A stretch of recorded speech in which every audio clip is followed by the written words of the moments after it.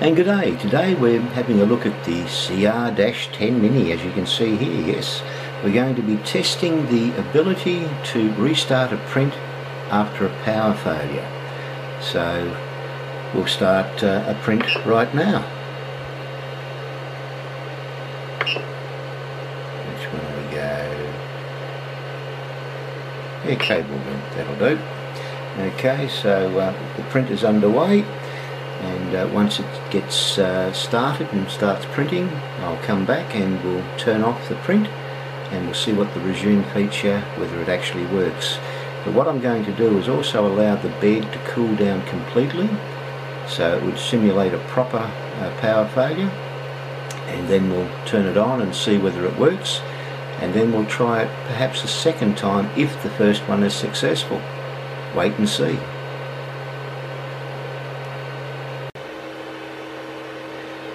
And as we can see the print is uh, underway so we're now going to simulate a power failure. I'll uh, swing the camera back so you can see, there we are, the screen should come into view. Ah, there we go. And uh, oh no, power failure. Okay, I'm going to allow this to cool off and uh, we will restart it again shortly hopefully restart it shortly I should say and see what happens. Okay I've given it uh, about an hour hour and a half give or take uh, time for the the big test to see whether it will fire up again. Here goes the power.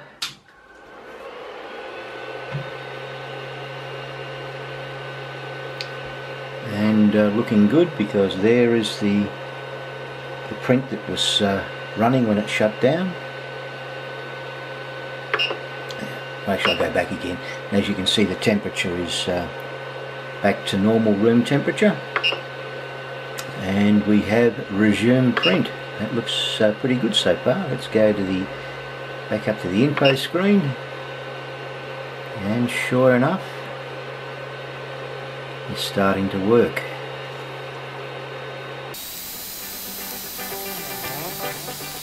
And here we go.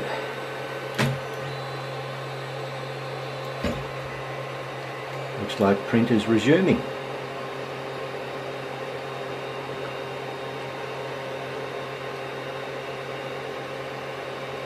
And it's definitely doing something. And we'll find out in a few seconds whether it uh, continues where it left off and of course I'm pretty confident the answer is going to be yes. And uh, there's the print coming into sight. And away she goes. So that's looking pretty good. Now I'm going to let it run for a little bit and then I'm going to yes kill the power again. And uh, we'll see if it resumes twice on the same print. Now that'll be interesting. So uh, I'll let it run a little bit as I said and uh, I'll swing the camera back onto the little power supply screen thingy over here. There it is. I'm just getting back in, into position.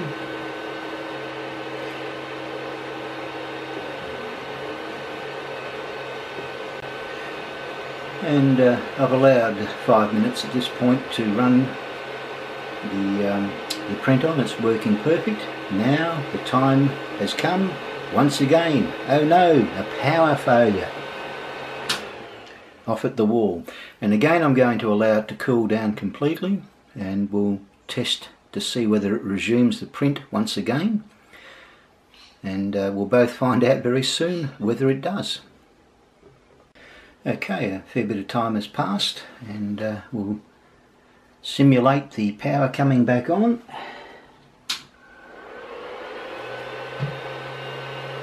and uh, as you can see again both the um, bed and the nozzle have cooled down uh, back to basically room temperature. We've got our last print still showing down the bottom. And we have resume still available. Wow I am impressed. And she's firing up again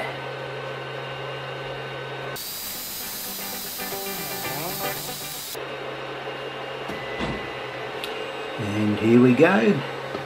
We've got motion over on the other side.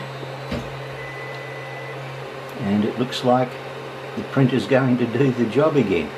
I am very very impressed with this. So we've had two simulated power failures.